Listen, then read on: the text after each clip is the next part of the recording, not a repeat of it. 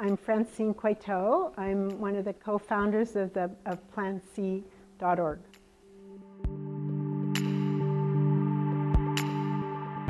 I, I'm, I'm a pretty pragmatic person and um, I got really interested in the, the, fact that we, we needed more options, more contraceptive development, uh, more opportunities to use technology to improve the lives of, of families and in particular women and ability to control their fertility. And um, I started um, noticing that the technology was actually way ahead of our ability and our public will to use it and to make it available to everyone. And so the issue of equity and the issue of justice and having access to these new technologies and that the people who most needed them didn't have access is what really has been my passion was to try to um, reduce that gap between um, what is possible back to the pragmatism possible thanks to the technology, but very, very difficult because of our political and uh, cultural issues around abortion.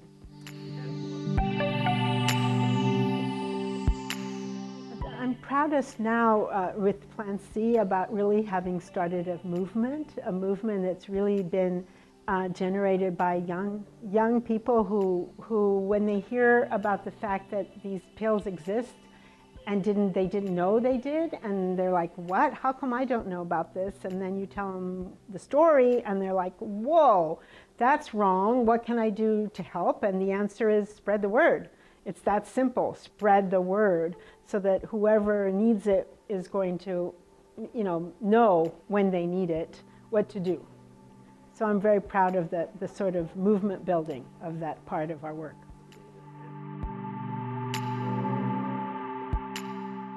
I think the biggest barrier is, is, is a, an underlying fear of, of, of going against the administration, the laws, the regulation. I think we pro-choice people have been on the run in the defensive mode for so long that we have failed to recognize that there are many times where we're, we're, we're self-censoring ourselves.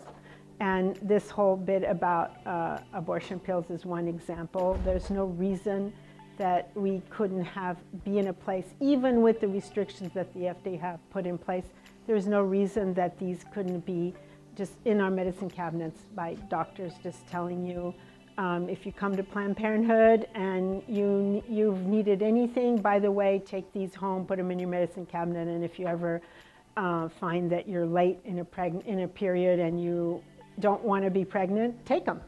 We could have done that.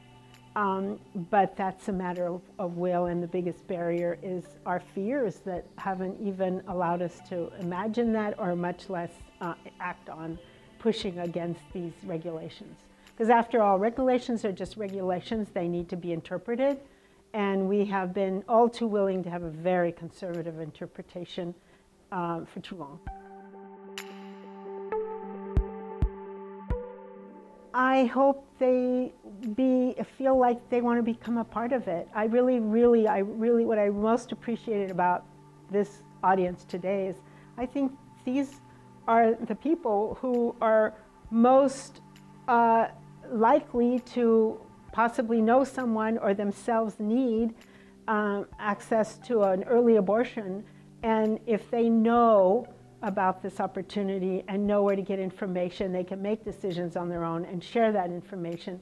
That's unstoppable. I don't care how many judges they change or put or you know what they do with the laws. It's going to be unstoppable if uh, people know and people have access um, because this absolutely is about power, not about health.